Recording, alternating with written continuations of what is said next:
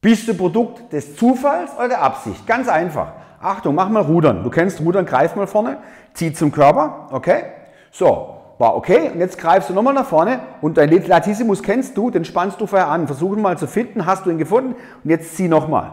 Okay, Riesenunterschied, hast du gemerkt? Klar, weil du beim zweiten Mal Zielmuskel fokussiert trainiert hast. Das heißt, du hast schon mal eine Verbindung zum Zielmuskel aufgebaut.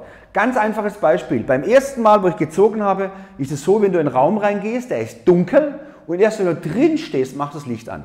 Beim zweiten Mal habe ich erst das Licht angemacht und bin dann in den Raum rein, damit ich weiß, wo ich hingehe. Und das ist zielmuskelfokussiert und das sorgt dafür, dass du nicht Produkt des Zufalls wirst, sondern Produkt der Absicht. Zielmuskelfokussiertes Training.